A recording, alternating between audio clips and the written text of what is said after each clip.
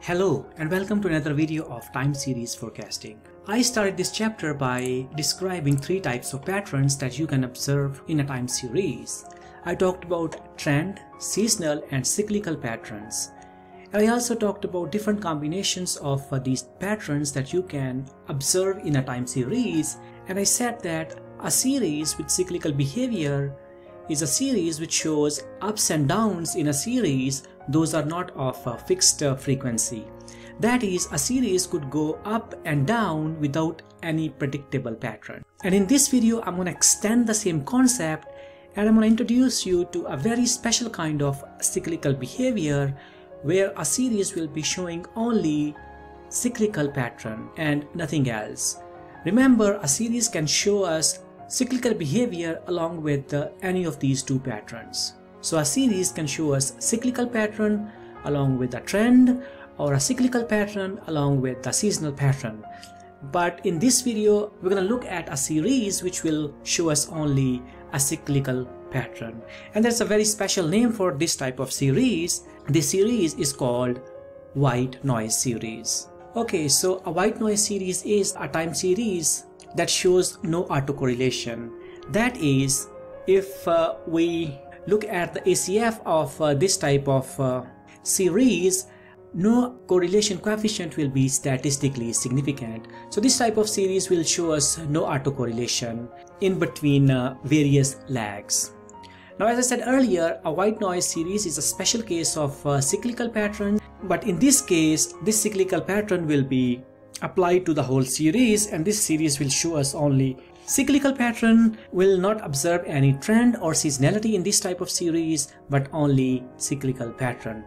So now if a series is white noise then 95% of the ACF the correlation coefficients will be within plus minus 2 divided by square root of t. Right so for example if number of observations or number of time periods in our data set is 50 then we can calculate 2 divided by the square root of 50 is equal to plus minus will be here plus minus 2.8 therefore 2.8 will be our critical value on the plus side and minus 2.8 will be our critical value in the negative side. So now if a series is uh, white noise then 95% of the spikes will be within uh, this bound. So we may observe a couple of spikes outside, but majority of the spikes or correlation coefficients will be within uh, these bounds. And if more than 5% of uh, the spikes are outside this range, plus minus 2 over square root of t, then the series is not white noise. So white noise series is uh, a series which shows only cyclical pattern and no other pattern and 95% of the correlation coefficients or the spikes in the ACF are within plus minus 2 divided by the square root of t which means 95% of the correlation coefficients will be within this range and if more than 5% of the spikes are outside this range then the series is not white noise. Now this series is very important because the, later on we're going to use this idea to evaluate uh, the accuracy of the model and compare various models so it's important that you understand the concept of uh, white noise. Okay so here's an example of uh, white noise series in R. So let's uh, start with running uh, FPP2 library and then I'm gonna set seed to 30 because I'll be working with random numbers so this seed will help uh, you to replicate the same results as this example. So I'm gonna generate uh, 50 random numbers. I'm gonna use this function rnorm and uh, generate 50 random numbers. And then I'm gonna set these 50 numbers as time series object and save it as uh, series y you can look at the summary statistics and head and tail of uh, this data set. So let's plot this series and have, have a look at uh, this series.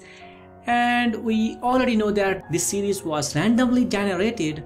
Hence uh, it is showing only a cyclical behavior that is ups and downs without any seasonality or trend in it. So now whether this series is a white noise, that is whether this series shows only cyclical behavior, we need to go and uh, look at uh, the autocorrelation function.